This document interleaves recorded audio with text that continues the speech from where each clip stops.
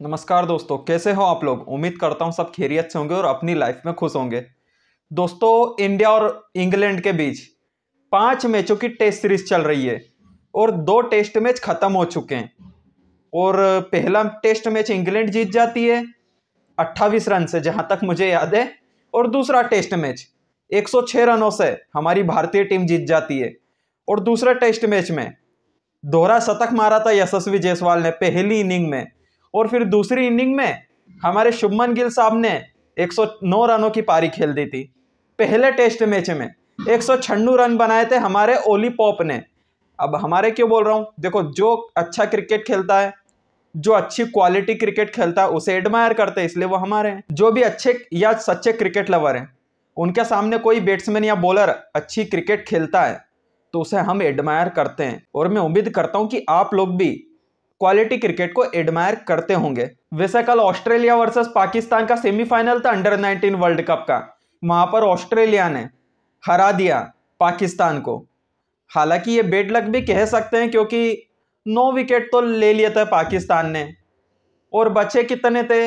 एक विकेट। सोलह रन चाहिए थे ऑस्ट्रेलिया को और ऑस्ट्रेलिया के हाथ में एक विकेट था खाली। हालाँकि सोलह रन बना दी ऑस्ट्रेलिया ने और विकेट नहीं खोया। हालाँकि दोस्तों, पाकिस्तान लक्की भी रही, क्योंकि एज लग के चौके गए।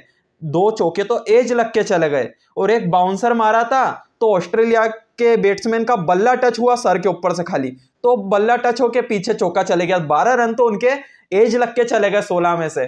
तो अनलक्की रहे पाकिस्तानी बॉयज़ हालाँकि दोस्तों, अब तुम बोलोगे कि तुम पाकिस्तान को क्यों सपोर्ट करो मैं नहीं कर रहा पाकिस्तान को। लेकिन दोस्तों, ये तो अठारह अठारह, उन्नीस साल के बच्चे ना, इनसे हमारी क्या पॉलिटिशियन है? वो जो सीनियर टीम खेलती है ना, उसमें हम कंपैरिजन कर सकते हैं। बोले, हम इनसे इनको नहीं पसंद करते। लेकिन यार, ये तो अंडर नाइनटीन के बच्चे हैं, वो हमारे उदय सारण की टीम है, उसके बाद उधर से, उनका तो नहीं पता मुझे कोई साजिद नाम का उनका कोई कप्तान है विकेट कीपर भी है, मोहम्मद रिजवान की तरह एक्टिंग करता है वो, जब भी कोई चौका चले आता तो मोहम्मद रिजवान की तरह प्रॉपर एक्टिंग करता है। तो क्या कर सकते हैं यार, हार गए। हालाँकि अनबिटन गई थी मतलब एक भी मैच हारी नहीं थी सेमीफाइनल में जाने से पहले।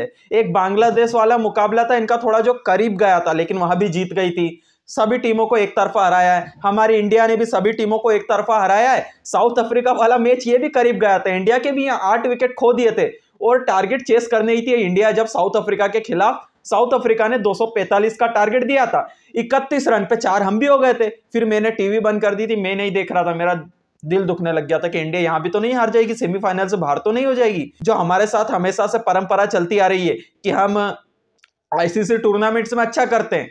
लेकिन जब नॉकआउट्स की बात आती है, जब सेमीफाइनल और फाइनल की बात आती है तो हम चोक कर जाते हैं हार जाते एक तरीके से या चोक कर जाते हैं। जो साउथ अफ्रीका का नाम है ना चोकर्स वैसा अब तो मुझे पाकिस्तान का भी बोलना पड़ेगा, ये भी चोकर्स ही हैं। ये 2021 के टी ट्वेंटी वर्ल्ड कप में अनबीटन गए थे सेमीफाइनल में ऑस्ट्रेलिया के खिलाफ हार गए। फिर अभी 2022 का टी ट्वेंटी वर्ल्ड कप यहाँ फाइनल में गए इंग्लैंड के खिलाफ चोक कर गए, हार गए। उसके बाद अभी अंडर 19 वर्ल्ड कप में हार गए। उसके पहले, अभी 2024 के एशिया कप अंडर 19 में सेमीफाइनल में बांग्लादेश के खिलाफ हार गए। तो चौक तो ये भी करते हैं, चौक हम भी करते हैं। हालाँकि दोस्तों, हमारी परफॉर्मेंस ओवरऑल अच्छी हम बायोलेटरल में अच्छी प्रदर्शन करते हैं। बायोलेटरल में हमारा प्रदर्शन काफ़ी अच्छा है, पाकिस्तान का नहीं है। पाकिस्तान अभी वर्ल्ड कप में अच्छा प्रदर्शन नहीं कर पाई। हम 10 के 10 मैच जीते वर्ल्ड कप 2023 में। ग्यारहवा हार गए, उसके अलावा डब्ल्यूटीसी फाइनल में भी गए हम। फाइनल में हार गए, माना। उसके बाद अभी अंडर 19 के फाइनल में चले गए। उम्मीद करता हूँ, भगवान से दुआ करता हूँ कि हम ये फाइनल जीतें। और ऑस्ट्रेलिया से बदला लें यार। इन्होंने हमें वर्ल्ड कप 2023 के फाइनल में हराया है। उसके बाद डब्ल्यूटीसी फाइनल में हराया है। बदला लेना चाहते हैं हम ऑस्ट्रेलिया से। तो दोस्तों, ये बातें नहीं थी।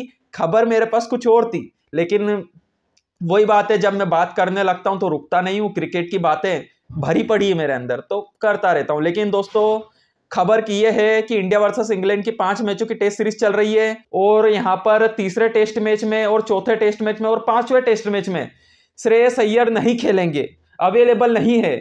उनकी पीठ में चोट लग गई है, मैं आपको पूरा इशारा करके बता रहा हूँ, या उनकी कमर में मोच आ गई है।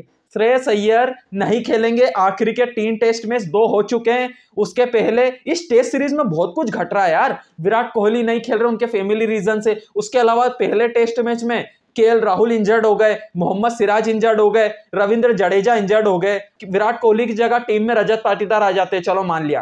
के राहुल और Ravindra Jadeja first test match में इंजर्ड हो जाते हैं सेकेंड टेस्ट मिस कर देते हैं। लेकिन खुशखबरी यह है के राहुल और हमारे मोहम्मद सिराज टीम में वापस आएँगे। थर्ड टेस्ट मैच खेलेंगे के राहुल और रविंद्र जडेजा और मोहम्मद सिराज। रविंद्र जडेजा का मैंने पहले नाम इसलिए नहीं लिया, क्योंकि रविंद्र जडेजा 90 परसेंट फिट है। लेकिन वो टेन परसेंट का फासला बढ़ भी सकता है। अभी टेन परसेंट ही है चांसेस लेकिन दोस्तों, मेरा भी यही मानना है, अगर कोई खिलाड़ी 100 परसेंट फिट है तो ही आप रिस्क लीजिए, नहीं तो उसे खिलाड़ी को मत खिलाइए। क्या पता इंजरी और बढ़ जाए। अभी 2024 में ही इसी साल टी ट्वेंटी वर्ल्ड कप है सर पे।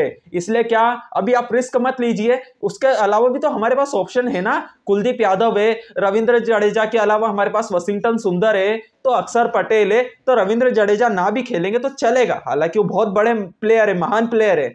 उसके अलावा आप श्रेयस अय्यर अनफिट हो गए तो कौन आएगा इनकी जगह? मेरे हिसाब से सरफराज खान आएँगे। काफ़ी अच्छा प्रदर्शन कर रहे हैं।